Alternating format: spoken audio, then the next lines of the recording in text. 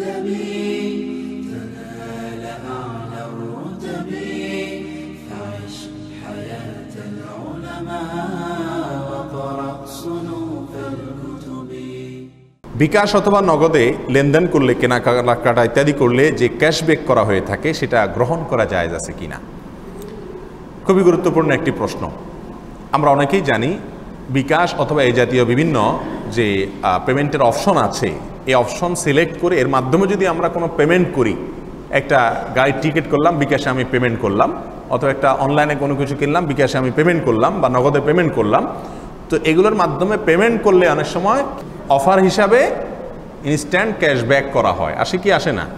এই যে instant cashback করা হয়, এই ক্যাশব্যাকের টাকাটা ভোগ করা, ভোক্তার জন্য জায়েজ আছে কি না এটা হলো মূল প্রশ্ন। এই প্রশ্ন উত্তরে বলব এই যে টাকাটা ব্যাক করা হয়ে থাকে, কথার কথা একশো টাকা দিয়ে আপনি একটা জিনিস কিনলেন এবং বিকাশ বা নগদ অ্যাপস দিয়ে বা তার মাধ্যমে আপনি টাকাটা পেমেন্ট করলেন।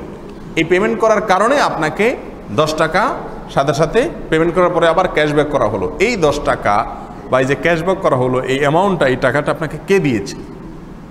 দুইটা রাস্তা হতে পারে। নাম্বার এক, আপনি যার পণ্য কিনেছেন, কথার কথা একটা এক্স ওয়াই জেড একটা পরিবহনের টিকিট কিনেছেন। তো এই পণ্য যার কিনেছেন, তিনি তার পণ্যটার মধ্যে ছাড় দিয়েছেন আপনাকে। এটা যদি হয়, তাহলে তো আপনার জন্য সেটা গ্রহণ করাতে কোনো অসুবিধা নাই। আমার পণ্য, আমি আপনাকে দশ টাকা বিক্রি করলাম। আপনি দশটা টাকা দেওয়ার পর আমি বললাম, নেন, দুই টাকা ফেরত নেন। এটা আমার জন্য ভোক্তা হিসাবে অবশ্যই কি আছে? জায়েজ আছে। কথা কি পরিষ্কার? তাহলে বিকাশের যেই টাকাটা, ক্যাশব্যাকের যে টাকাটা আমরা ফেরত পাই, সেটা যদি যেই কোম্পানির পণ্যটা বিকাশের মাধ্যমে কিনলাম, ওই কোম্পানি যদি আমাকে ক্যাশটা দিয়ে থাকে, ব্যাক করে থাকে, তাহলে সেটা সম্পূর্ণরূপে জায়েজ আছে। হাদিয়া হিসাবে কোনো অসুবিধা নাই। টাকার যিনি হকদার, তিনি নিজে ছাড় দিয়েছেন, কোনো অসুবিধা নেই। আর দ্বিতীয় অপশন হতে পারে, না, ওই কোম্পানি ছাড় দেয় নেই। বিকাশ ব্রাক ব্যাংক বা বিকাশ কর্তৃপক্ষ আপনাকে কি দিয়েছে? এই ক্যাশব্যাকটা করেছে। তো দ্বিতীয় অপশন হওয়ার সম্ভাবনাই বেশি এবং দ্বিতীয় অপশনে যথাসম্ভব সব ক্ষেত্রেই হয়ে থাকে প্রায়। কারণ কোম্পানি যদি অফার দেয়, তাহলে তো আগে থেকেই বলবে, একশো টাকারটা আমি নব্বই টাকায় নেব।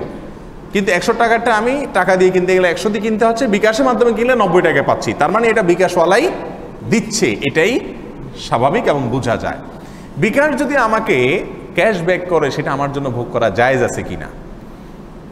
এখানে একই কথা, বিকাশ বলল যে আমাকে ব্যবহার করে দেন, তাহলে আপনাকে আমি এটা পুরস্কার দিব। অর্থাৎ আমার জিনিসটা নিলে আমি এটা দিলাম। বাহ্যিকভাবে এটা জায়েজ আছে।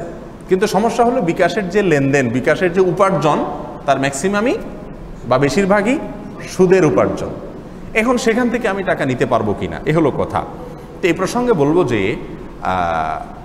যেহেতু বিকাশের শুধুমাত্র সুদের উপার্জনই নাই, সুদ ছাড়াও তাদের বিভিন্ন রকমের উপার্জন আছে। সেজন্য তাদের উপার্জনটাকে বলতে হবে সরাসরি হান্ড্রেড পার্সেন্ট সুদের উপার্জনই তাদের আছে, তা নয়, বরং মিশ্র উপার্জন তাদের। মিশ্র উপার্জন যদি হয়, তাহলে সেরকম কোনো ব্যক্তি যদি, মিশ্র উপার্জন যারা আছে, এরকম কোনো ব্যক্তি বা প্রতিষ্ঠান যদি আপনাকে কিছু হাদিয়া দেয়, উপঢৌকন দেয়, উপহার দেয়, তাহলে সেটা গ্রহণ করা আপনার জন্য জায়জ আছে। তবে গ্রহণ না করলে সেটা হবে তাকোয়ার দাবি, উত্তম। কথা কি বুঝাতে পারছি?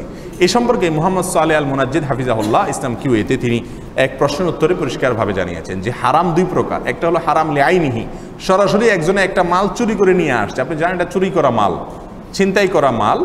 তো ওইটা আপনাকে যদি হাদিয়া দেয়, আপনি কোনো অবস্থায় সেটা ভোগ করতে পারবেন না, আপনার জন্য এটা জায়েজ নেই। আর হলো হালা, হারাম লিগাইরিহি। হারাম লিগাইরিহি মানে হলো মূলগতভাবে বিষয়টা হারাম না। সে লেনদেনটা অশুদ্ধ উপায়ে করছে, তাই হারাম হয়েছে। যেমন সুদ। এই সুদের যে টাকাটা, এই টাকাটা সে ব্যবসা করে নিলে তার জন্য হালাল ছিল, এই টাকাটাতে কোনো দোষ নাই। পদ্ধতিটা ভুল হওয়ার কারণে সেটা কি হয়েছে?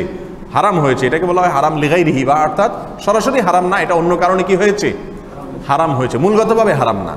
যাই হোক, এরকম যদি হয়, আর সেক্ষেত্রে মোহাম্মদ সাল্লাহ মনাজিদ বলেছেন যে, ওই হারাম উপার্জন যিনি করেছেন তার জন্য এটা হারাম। কিন্তু তিনি অন্য কাউকে উপঢৌকন ইত্যাদি দিলে তার জন্য কি হবে না সেটা?